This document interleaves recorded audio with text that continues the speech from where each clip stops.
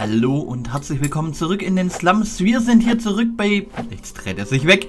Wir sind hier zurück bei Book of Unwritten Tales Teil 2 und äh, ja, wir stecken hier irgendwie fest. Wir bekommen... Ah, jetzt verhandelt Herr Schildträger mit Jorge über seine Bestechung und ich sitze hier unten fest. Wenn ich es den beiden doch nur heimzahlen könnte. Okay, wir müssen also beiden irgendwie was machen. Okay, ähm, hier ist noch das markierte Fass. Zloff hat das Fass ordnungsgemäß bezahlt. Es gehört ihm. Er sollte es abholen lassen, bevor es noch verschwindet. Ja, also ganz arg komisch. Ähm, wir stecken jetzt hier irgendwie Fisch. Ich dachte, ich kann dem vielleicht irgendwie das Fass rüberbringen, damit er damit irgendwie arbeiten kann, aber offenbar geht da nichts. Ähm, hier sind wir irgendwie auch noch. Was ist mit dem Karren? Habe ich den schon? Dieser Karren steht schon lange hier. Seltsam, dass er weder für die provisorische Zeltstadt noch für die Barrikaden benutzt wurde. Okay, da haben wir gar keine Möglichkeit. Dann gehen wir zurück ins Gasthaus. Da wartet jetzt noch unser richtig guter Freund da hinten. Oh, wenn ich den schon sehe. Oh, und der Reporterfuchs ist auch da. Das ist der Reporter, der sich oben an der Lostrommel von der Ratsvorsitzenden die Nachrichten in den Blog diktieren ließ. Wenn ich jemals einen frustrierten Menschen, Fuchs, Dings gesehen habe, dann ihn. Ja, es sieht echt... Aber wir können sogar mit ihm reden. Und ich denke... Was, was ist hier noch? Postkarte Aushang? Sollen wir zuerst uns... Ja, geben wir uns erst dem Negativen irgendwie hin. Swinging Seefels. Die Stadt, die niemals schläft. Die Postkarte wurde eindeutig vor dem Krieg verschickt. Sogar der Turm der Zaubererschule steht an seinem Platz. Okay.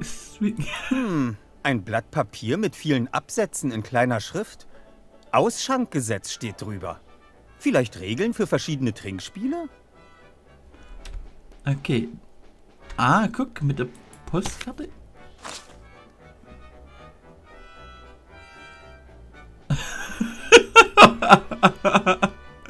Aber wie sogar unser, unser, hier die Gnome wieder reingeschafft haben. Ich kann die Oberstadt nicht betreten. Das Tor ist versperrt. Ach, das ist eine Karte. Und damit kann ich an die verschiedenen Punkte hier in, in der Stadt direkt hinspringen. Ah, das ist ja... Naja, offenbar nicht. Ich dachte, das gilt dann irgendwie als Karte. Okay, Direktor Bloch scheint Gold zu zählen. Große Mengen Gold. Woher hat er das? Na, fragen wir ihn doch einfach. Hallo, Herr Direktor Bloch. Bestechung. Wetterquarz, haben Sie nicht noch Dinge in der Schule zu erledigen? Ich bin quasi immer noch dabei. Ich hole nur gerade Werkzeug aus der Stadt. Nun gut.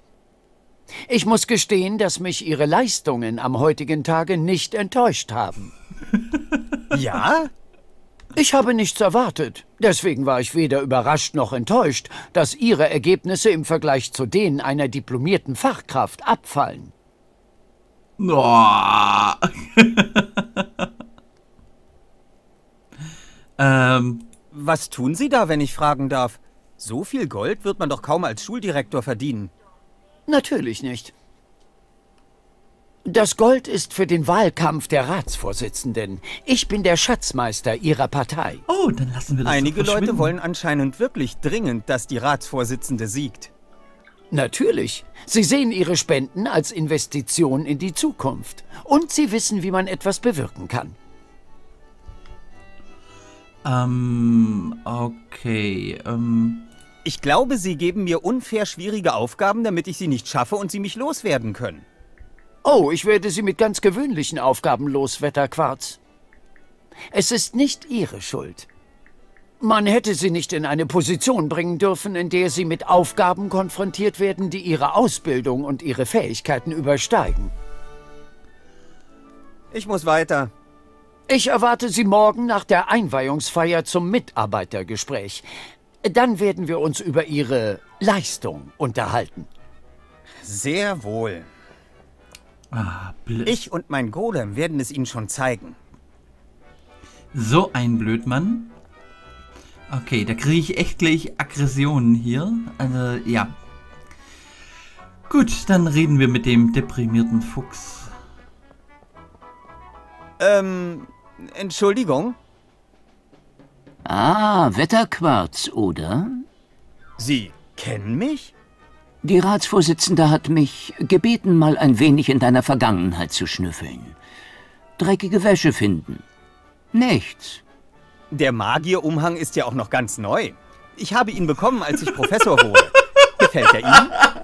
Sehr schön. Warum störst du mich beim Trinken? Ich habe ein paar Fragen. Ein paar gleich. Der, der Umhang ist ganz neu. ähm, Ich habe Sie oben gesehen. An der Lostrommel. Ratsvorsitzende von Buren war auch da. Yep, keine meiner Sternstunden. Lasse mir von einer Politikerin sagen, was ich über sie schreiben soll.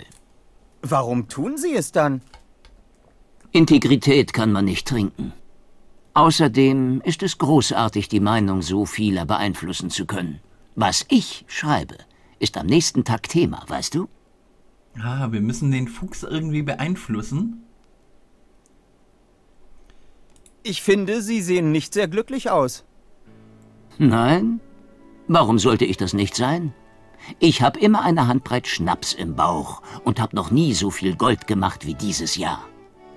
Ich habe es für Weiber, Alkohol und schnelle Pferde ausgegeben. Und den Rest habe ich einfach verprasst. Ich muss einfach glücklich sein.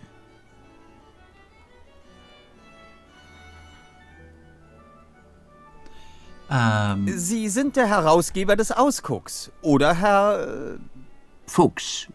Archibald Fuchs. Sie heißen wirklich Fuchs? Was dagegen? Ist das nicht, naja, etwas unkreativ? Sie sind ein Fuchs? Sie heißen Fuchs? So ist es nun mal. Das ginge auch subtiler. Heutzutage ist jeder ein Kritiker.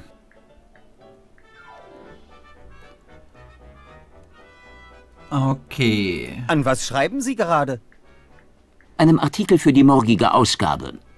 Hausdrachenangriffe nehmen zu. Kleinkind attackiert. Wie klingt das? Das ist ja schrecklich. Geht es dem Kind gut? Keine Sorge. Das Kind gibt es ebenso wenig wie ein Problem mit Hausdrachen. Aber warum schreiben Sie dann darüber? Ist das nicht offensichtlich? Der Erzmagier tut einfach nicht genug gegen dieses Hausdrachenproblem. Aber ich dachte, das gibt es nicht. Die Ratsvorsitzende hat sich des Themas nun angenommen und hat endlich ein Gesetz erlassen, das die Hausdrachenhaltung streng reglementiert. Alle gewinnen. Meine Zeitung, weil sie als erstes über dieses dringende Problem berichtet hat. Die Ratsvorsitzende, weil sie schnell und entschlossen gehandelt hat. Die Bürger, weil sie sich nun endlich nicht mehr wegen der Hausdrachen sorgen müssen. Machst du dir Sorgen wegen der Hausdrachen? Ähm, nein. Siehst du? Alles dank Frau van Buren. Ja, ken- kennt man irgendwie aus der aktuellen Politik auch ein bisschen, nur heißt sie nicht Van Buren, sondern von der. Ja, egal. Ähm, ähm, Mir ist aufgefallen, dass Sie immer wieder aus demselben Glas trinken. Und? Äh, sollte das Glas nicht irgendwann leer sein? Ist ein magisches Glas, hat Sloth sich ausgedacht.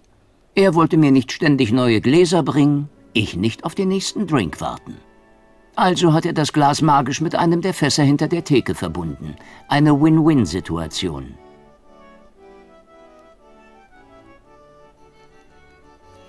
das ist natürlich praktisch, wenn sich das Glas nie leert, aber wie macht er die Abrechnung? Ähm, Ich glaube, ich habe eine Geschichte für Sie. Eine echte Geschichte. Ja? Jetzt gerade verhandeln der Hauptmann der Stadtwache und ein stadtbekannter Händler über Bestechungsgelder. Was sagen Sie dazu? Bin schockiert. Nein, ganz ernsthaft. Jorge schmuggelt Alkohol in die Unterstadt und umgeht den Zoll. Herr Schildträger weiß davon und will sich bestechen lassen. Wilbur, weißt du, Herr Fuchs, Sie sind doch Reporter. Es ist Ihre Aufgabe, solche Vorgänge aufzudecken. Wissen Sie, warum Sie sich so mies fühlen? Weil Sie ein Spürhund sind. Äh, Fuchs. Weil Sie ein Spürfuchs sind. Sie wollen sich nicht nur Geschichten ausdenken und sich Propaganda diktieren lassen. Sie wollen ermitteln. Sie wollen aufdecken. Sie wollen entlarven. Also schön. Komm mit und schau dir an, wie dieser alte Fuchs die Ja, Dinge wir kommen in die. Oberstadt, oder? Super. Es gibt nur noch ein Problem. Die beiden sind in der Oberstadt und das Tor ist zu. Ich bin Reporter, ich habe überall Zugang. Ja, und damit sind wir wieder in der Oberstadt. Das ist doch Blödsinn. Würde ich dir ein Goldstück pro Fass abgeben, würde ich bei drei Goldstücken kosten nur noch sechs Goldstücke Gewinn machen. Da könnte ich auch gleich Steuern zahlen. Ich will meinen Anteil. Ohne meinen Anteil läuft hier gar nichts. Guten Abend, meine Herren. Und jetzt auch noch der. Was muss ich vernehmen? Werden in dieser Stadt etwa Wucherpreise für Alkohol verlangt? Und wird dieser Alkohol am Zoll vorbei in die Unterstadt geschmuggelt? Ich äh, war gerade dabei, die Vorgänge aufzuklären. Was willst du, Fuchs? Troll dich, wir haben hier Geschäfte zu machen. Deswegen bin ich hier.